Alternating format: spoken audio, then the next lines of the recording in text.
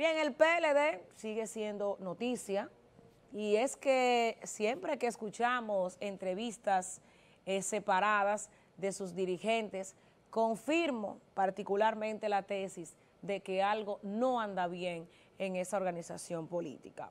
Por un lado, el precandidato Abel Martínez, que públicamente estableció que no iba en una alianza con la Fuerza del Pueblo. Pero por, otro lado, su ex director de campaña, Francisco Javier, en un programa radial ayer dijo que es bueno llegar con todos. No sé qué quiso decir en esa parte. En numerosas ocasiones, eh, en los aspectos que he referido sobre este tema, la situación actual del Partido de la Liberación Dominicana, PLD, hoy vuelvo a decirlo, hubo un dirigente que me escribió ahí un tanto enojado, no, no pueden hacer bembita porque uno diga la realidad. lo voy a reiterar hoy a mis amigos del PLD. Tienen que ponerse el traje, como dijo Charles Mariotti, y yo voy más allá de lo que dijo Charles Mariotti. Tienen que ponerse el traje todo el día. Y yo digo que tienen que ponerse el traje día y noche porque la situación no está nada fácil en el Partido de la Liberación Dominicana, a pesar de que se intente mostrar otro rostro. Hay situaciones internas en el PLD. Veo un precandidato muy erguido, muy endiosado, eh, muy grupal, muy selectivo, y creo que eh, el actual alcalde del municipio de Santiago tiene que bajar de la luna y remontarse a la tierra. Hay que dejarse de egos. En la política, en la política, los egos elevados tienen fuertes consecuencias. Y muestra de ello es que en San Francisco de Macorís, en esta organización política del PLD, cada día son menos y siempre el mismo grupito dirigiendo y comandando un grupo selecto que no permite que nadie ingrese a ese círculo. Un grupito que domina absolutamente todo, bueno, lo poco que queda. Y hay que ser realista, hay que decirlo, hay que decirlo, principalmente en San Francisco de Macorís, con algunas excepciones. Un saludo a mi amigo Henry Acosta. Yo creo que es el único que está quedando ahí con una labor impecable, también tengo que decirlo, una labor social impecable de nuestro amigo Henry Acosta. Pero después de ahí, los viejos robles, y alguien dijo aquí en un mensaje que el PLD, hace unos días, que el PLD se ha convertido en un museo. No sé qué quiso decir con eso.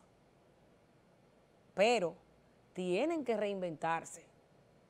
Tienen que hacer cambios significativos tienen que estar inmersos en un proceso de inclusión, porque se convirtieron en un partido excluyente, donde la juventud tiene 0.5 de participación. Y la verdad debe ser dicha, aunque moleste. Así que no, no, no me hagan, no me escriban mensajitos ahí de que como que no, no, no, no, no. Hay que decir las cosas como son, porque entonces apelaríamos nosotros a la mediocridad en los medios de comunicación. Y a nadie lo han matado por decir lo que piensa así tan crudamente. Y cuando suceda, pues no lo vamos a sentir.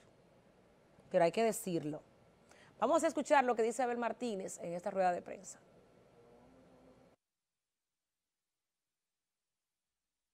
Fin de semana que recién concluyó, hicimos Solo con convocatoria de Santiago, la marcha contra este ahogamiento que le tiene el gobierno a la población dominicana con comida cara, delincuencia arropándonos, falta de empleo, falta de oportunidades. La marcha más espectacular que partido político alguno haya hecho en estos meses de aspiraciones presidenciales. El Partido de la Liberación Dominicana en los próximos días además presentará una agenda nacional de continuidad de los trabajos. El fin de semana anterior a la marcha de este fin de semana, el PLD hizo 76 actividades simultáneas. Ningún partido político puede hacer ni siquiera un 10% de lo que el PLD hace para movilizar a las estructuras. El Partido de la Liberación Dominicana tiene una sola agenda.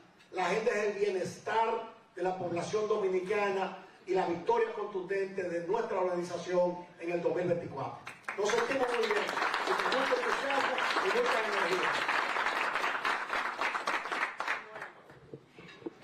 Dice alcalde de CDN, a ver, eh, ¿cómo va a ser para revertir un dato duro que dio recientemente el secretario general del partido de que la militancia del PLD se identifica con la marca PLD, no así con el candidato presidencial?